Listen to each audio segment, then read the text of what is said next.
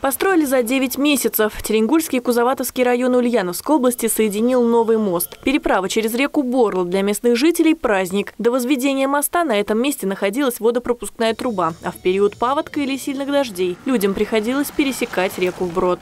Не мост был здесь, конечно, переход. Постоянно сидели. Как сидели? Тонули. Там потом утонешь. Что нам приходилось? Транспорт вызывать, трактора, машины там на что-нибудь вот вытаскивать. Лед проваливался всегда, здесь был всегда наледь.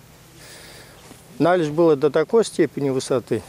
У жителя Большой Борлы Николая Михайловича дочь живет в соседнем селе Безводовка. Раньше, чтобы проехать к ней в гости, приходилось искать объездную дорогу. Теперь 10 минут, и он в гостях у родственников.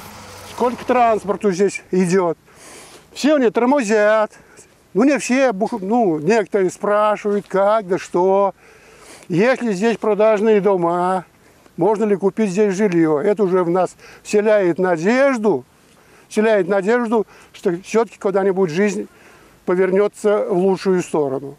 Радуются и автолюбители. Чтобы добраться из Теренги в Кузоватово, приходилось сделать крюк через солдатскую ташлу. Теперь путь сократится на несколько десятков километров.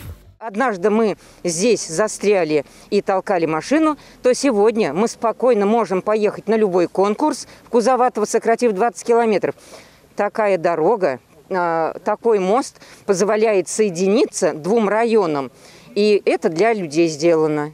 Протяженность мостового перехода 300 метров, а самой переправы 61 метр. Мост монолитный и рассчитан на высокий уровень паводковых вод. Через него также пройдет школьный маршрут.